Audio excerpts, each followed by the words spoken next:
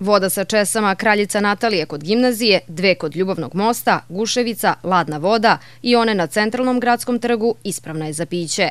Redovno se hloriše, uzorkuje i analizira, jer su te česme priključene na gradsku vodovodnu mrežu, kaže doktorka Tatjana Vidanović, načelnica Centra za higijenu i humanu ekologiju Zavoda za javno zdravlje Pirot. Međutim, to nije slučaj i sa vodom sa česme Šopka na Kaleu. To je kaptirana česma ima poseban izvor, nije hlorisana, tako da praktično za njenu sigurnost vodu sa ove česme ne možemo da siguramo da je ispravna, a moramo da naglasimo i da nismo skoro radili analize na higijensku ispravnost ove vode, ali kada smo je radili, obično smo u njoj zaticali bakteriološku neispravnost, bilo je tu koliformnih sulfito-redukujućih bakterija, tako da ovu vodu građani mogu da piju na svoju odgovornost.